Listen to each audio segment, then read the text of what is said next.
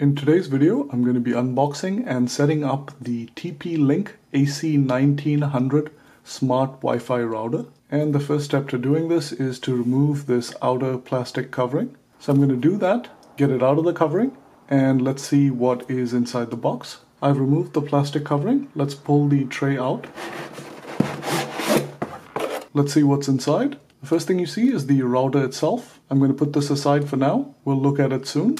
And as with most other routers, you have some documentation. And the most important piece of documentation is this card with the SSIDs and password on it. We'll need this to set the router up, so make sure to hold on to this. It also comes with a power adapter and an ethernet cable. Now that we've got everything out of the box, we can actually start setting the router itself up. And in order to do this, you need to remove the plastic covering from the top of the router and the plastic covering on the antenna. You want to be really gentle while peeling this plastic off so as not to damage the antenna. So gently peel the plastic covering off the router and then gently peel the covering from the antenna.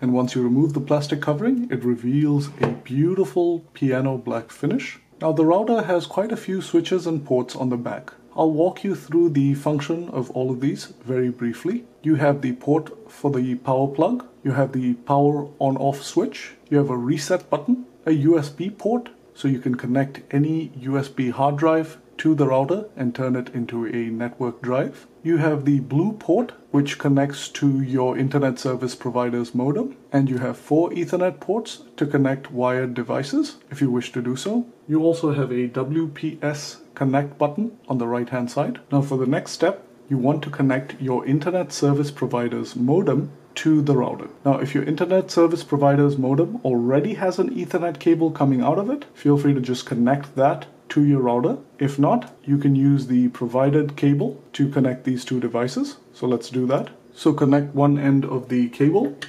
to the Ethernet port on your modem and plug the other end into the blue port on your router till you hear that click. And now we're going to connect the power adapter to the router so plug this end into the power port on the back of the router and then plug this adapter into a power outlet. But before you plug this into a power outlet, make sure that your modem is in fact turned on and connected to the internet. And if for some reason your router doesn't turn on when plugged in, you're going to have to turn it on by pressing the power button on the back. And once you plug this into a power outlet, you should see the power indicator on the front light up and go through its boot up sequence. Once the boot up sequence begins, you'll see the first four lights on the router flash and sometimes even turn off. And when everything's done, you'll see that the first four lights on the router will turn a solid green.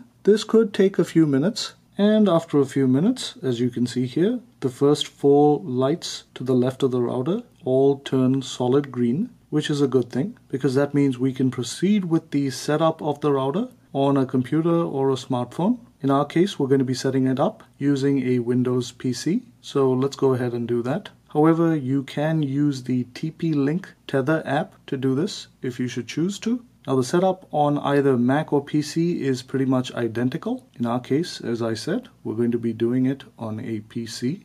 So in order to begin setting this up, the first thing you're going to do is go into your Wi-Fi settings and in order to do this on a Windows computer you can tap on the Wi-Fi icon on the bottom right hand corner in that tray down there tap on that and the list of available networks opens up you want to scroll down this list to find the networks that are listed on the card that came with your router the card that we talked about and I found those two networks here now, if you can see the network that ends with the word 5G, I recommend selecting that as you'll have better speeds with this connection.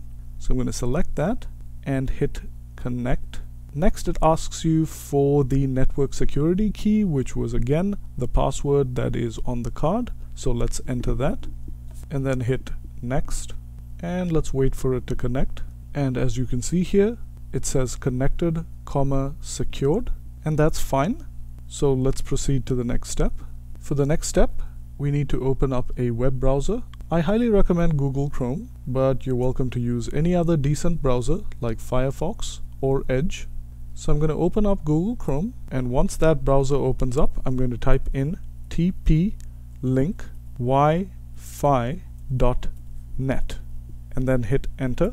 And on the next page, it asks you to create an admin password.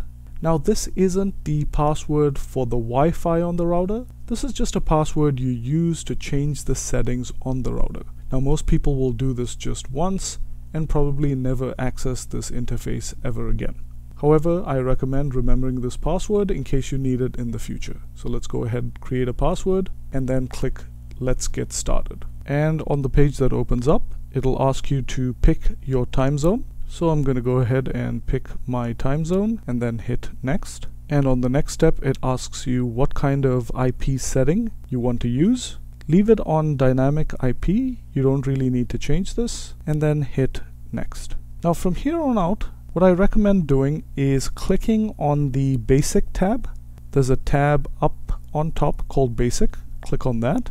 And what you're going to do is go to the sidebar on the left and click on the wireless button and here you have the option of changing the network name and passwords of the two Wi-Fi networks associated with your router. I highly recommend changing the network name and password on both of these networks and once you're done changing that hit save to save your changes. Now make sure to remember these passwords because you'll need this for any device that needs to connect to your network. Now once you hit save the computer will boot you out of the network that you were connected to. You'll need to go back in and reconnect to the new Wi-Fi networks that you created. In my case, I'm going to connect to the ones that I just created.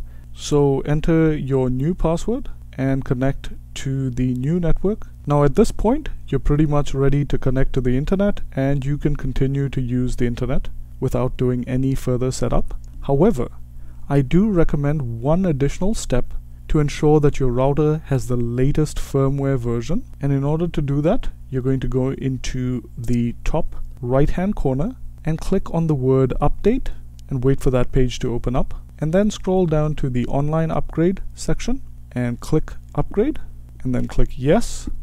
And this process could take a few minutes. You don't want to do anything till this process is completed. And once it's completed, your router will most likely reboot and as you can see once the router is done rebooting it will log you out of that interface now you really don't need to do any additional setup you can log back in if you'd like to but if you don't you're welcome to just go ahead and continue to enjoy using the internet and I'm just going to test it out to make sure everything's working so I'm going to go onto YouTube and see if I can play a couple of videos to make sure everything is working right and there you go. As you can see, the router is now connected to the internet and ready to use. Now I will be doing a full review of this router in a separate video where I'll be doing some speed tests on this device and I'll also be comparing it to some other very popular routers. So stay tuned for that video. Hope this video has been useful. If it has, please hit that like button and subscribe to stay tuned for more reviews, unboxings, and how-to videos. Thanks for watching and see you next time.